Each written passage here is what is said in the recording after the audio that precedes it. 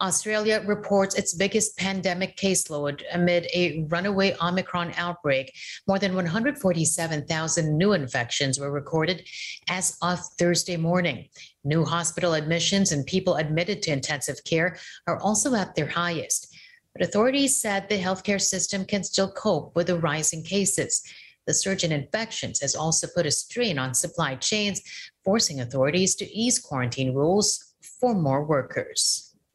Mexico also posting a record high number of new cases. It recorded 44,187 new cases Wednesday, surpassing the previous high 33,600 cases set the previous day. Officials say although infections are surging, hospital occupancy remains low. The number of people hospitalized for COVID is 85% lower than the peak in January last year. Calls grow for British Prime Minister Boris Johnson to step down as he apologized in Parliament for attending a gathering in his Downing Street office during lockdown. More in this report. Mr. Speaker, I want to apologise.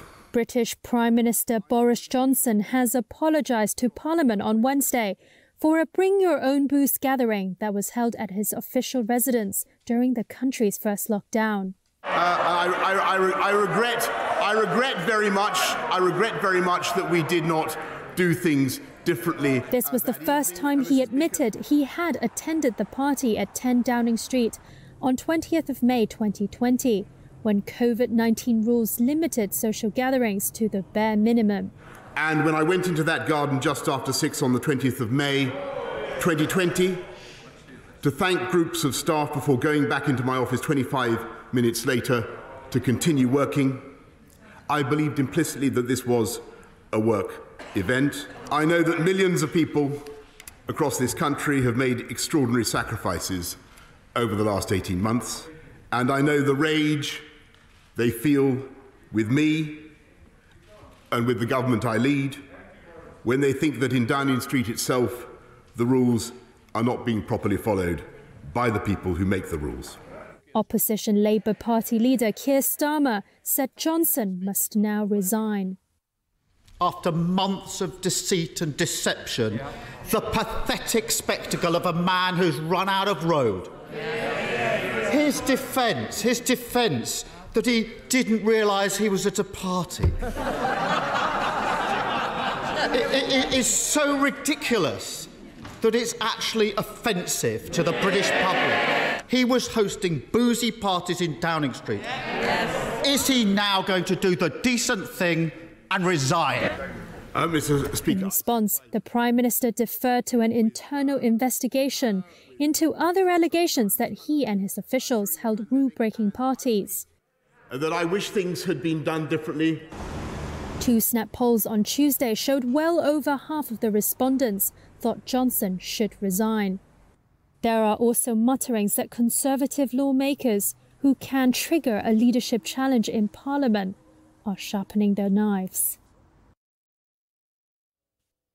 Canada's second most populous province eyeing a different but also controversial vaccination rule. And as this report tells us, Quebec plans to tax adults refusing to get a COVID jab.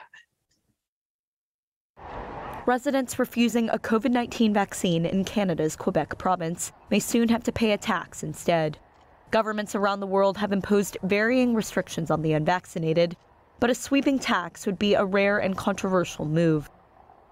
Citing the financial burden unvaccinated people are putting on the system, Premier Francois Legault said on CTV Tuesday that the tax would likely be up to 100 Canadian dollars, or around 80 US dollars. Those who refuse to receive their first dose. He added that the unfinished proposal wouldn't apply to those who can't get vaccinated for medical reasons.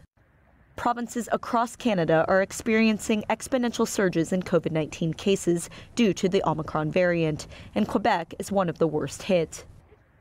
Last month, Quebec said it had no choice but to allow some essential workers to continue working, even after testing positive for the virus, in order to prevent staff shortages from halting healthcare services. Legault says that even though only 10% of the province population remains unvaccinated, they make up about 50% of their intensive care units. Whether attacks on the unvaccinated could survive court challenges will depend on the details. On Monday, Canadian Prime Minister Justin Trudeau said that the federal government had secured enough vaccine doses for all eligible Canadians to receive a booster as well as a fourth dose.